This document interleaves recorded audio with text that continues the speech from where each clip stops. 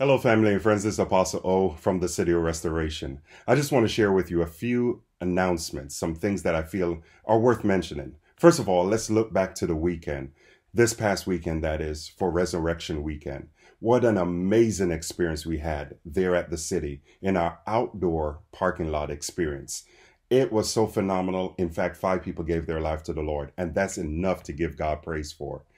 It was also a delight to see you in fellowship once again, to both be able to impart, share with you the Word of God, to be able to join with you in worship, but also to be able to walk around and greet so many of families that were in representation on this past weekend. In fact, not only did you come, but several of you brought you, yourself, your family, your loved ones, and even neighbors and such. And I'm so grateful that uh, we got a chance to really connect to our community. So grateful, in fact, that several of which have already shared they're planning to make the city their home. And so I'm so grateful to all of you that are continuing to witness, uh, to all your friends, loved ones, co workers, neighbors, and in turn the community at large. So thank you once again. I also want to say thank you to everyone that served in front of and behind the scenes.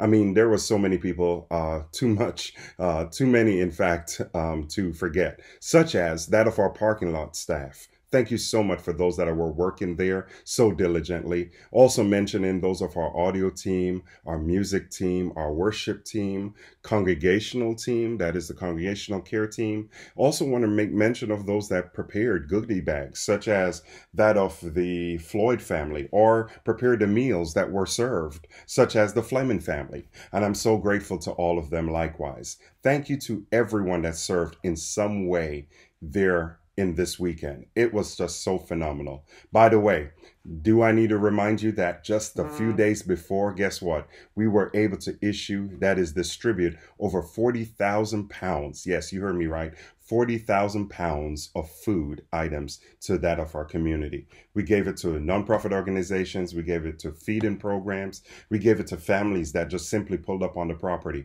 several of which, in fact, returned for service this past weekend. What a delight it is to be able to share both the tangible food and the spiritual one as well. I also need to move on and just make mention of this in my moving forward.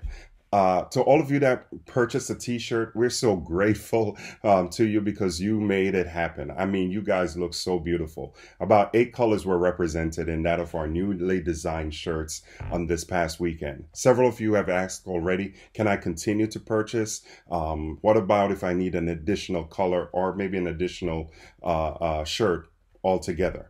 Guess what? Yes, you can. You have until the 14th of this month, the 14th of this month, in order to get it by the end of the month. So we want to encourage you to do so. Order by the 14th of this month. The website, the link will be provided here um, for you, but we want you to be able to do that. $20 for adults and $10 for our youth sizes. All right. Uh, let me also mention this. Um, this coming week, this week, in fact, I'm sorry, this week, in fact, that is the 7th, we'll be joining together at the city for the gathering. Yes, the gathering is, has returned and we are back at it this month you know, we join together in the building for a time of intercession and prophetic impartation. And with that being said, I want you to join me on this Wednesday for such. It's going to be an amazing experience. So invite your family and friends out to that likewise. Last but not least, guess what, folks? We're celebrating 15 years this month. Yes, 15 years in ministry, and we're thoroughly excited. We're going to be doing some things to reflect on the past and as well as, you know, presenting some things concerning the future. We are in a month of celebration, and I'm so grateful to everyone that has helped us. Yes, everyone present and everyone post uh, the city. We are so grateful to all of you. You put your hands to the plow. You made it happen. You supported, you prayed, and you interceded um, for our success. And we're so grateful uh, because we knew it's not by might nor by power, but, but simply by His Spirit why we were made able to do this. And I want to continue to do this in the grace and the will of God. God bless you all. I look forward to sharing with you uh, soon and very soon. God bless you. Hope to see you soon. Love you now.